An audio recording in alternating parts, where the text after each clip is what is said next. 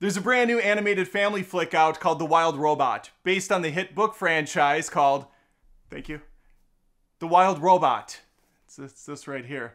My daughter loves the book. She really wanted to go see the film. I was going to wait for streaming because typically my audience doesn't seem to care so much about my animated reviews, but the whole family begged me. They came up to me, tears in their eyes, asking, Sir, May we please go to this film? And so after some deliberation, I decided, sure, this is worth $70 for movie tickets and some drinks to go watch this film. Keep in mind, I have the Regal Pass, so I'm already covered. This is three movie tickets and drinks, $70. What, what a deal movie theaters are these days. We saw the film though. The real question is was it worth the price of admission or could we have waited for this to come out on streaming? Let's talk about The Wild Robot in a spoiler free review.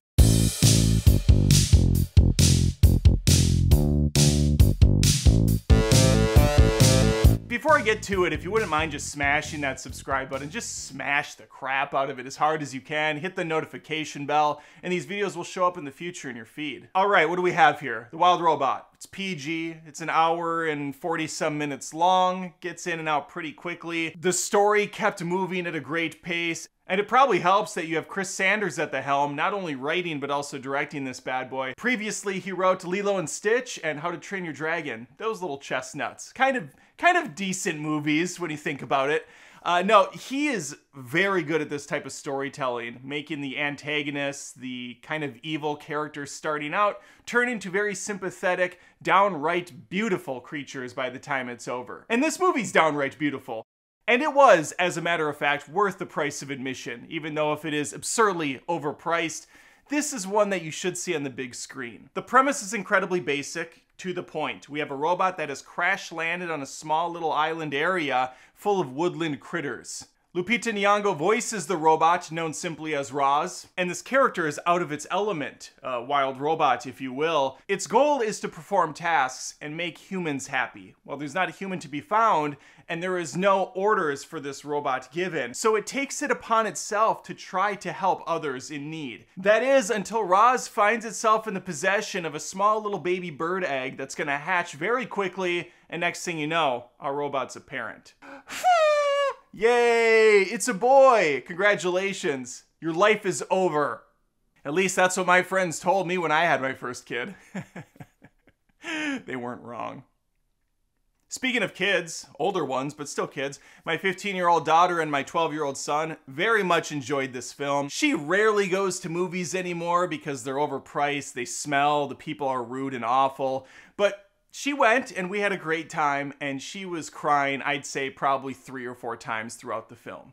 Since i'm an alpha with sigma status i held back any sort of salty discharge that was attempting to leave my eyeballs. That wasn't happening. I had to really fight to keep it all together because this is an emotionally solid film from front to back. It pulls at the heartstrings, it keeps you invested with all the fun, unique characters, the dangerous scenarios, the constant bombardment of action and spectacle. This is a beautiful looking film. It has that Puss in Boots Last Wish look to it very vibrant color palette, almost has a dreamy animated style to it. Not an unlikable character in the bunch, not a bad section of film to be seen.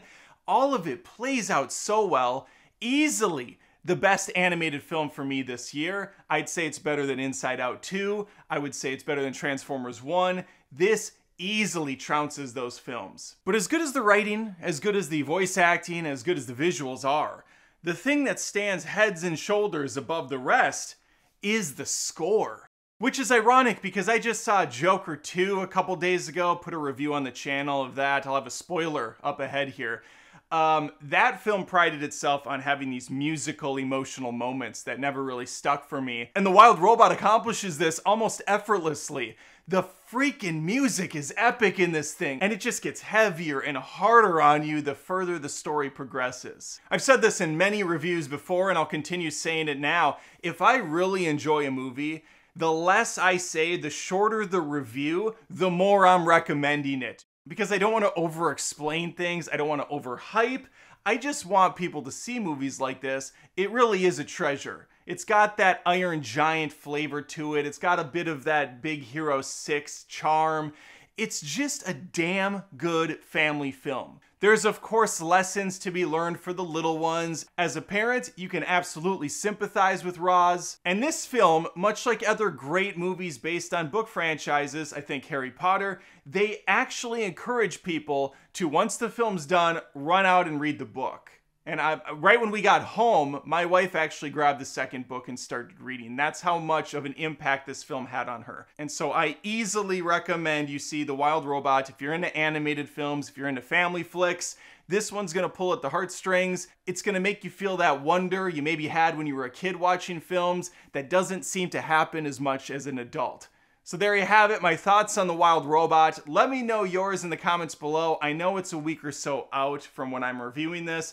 I honestly planned on watching it when it came home to streaming, but the family forced my hand and I'm very thankful they did. Let me know if you saw this movie. Please again think of subscribing, liking the video, sharing, doing whatever. I post content every single week, multiple times. Would love to have you stick around. If you love what I'm doing and you're looking for a way to support this one-man band, maybe think about becoming a patron at patreon.com slash adamdoesmovies. I just brought back one of my favorite shows exclusively for the platform. It's called The Cringe. I play this over the top, stupid character that loves everything and hates all the things that's popular to hate. It's just a complete shill of a character. Very fun stuff. If you're at the $5 Patreon or higher, you get access to one of those every month, along with 300 exclusive other videos and counting. All right, hopefully I see you around. Take care.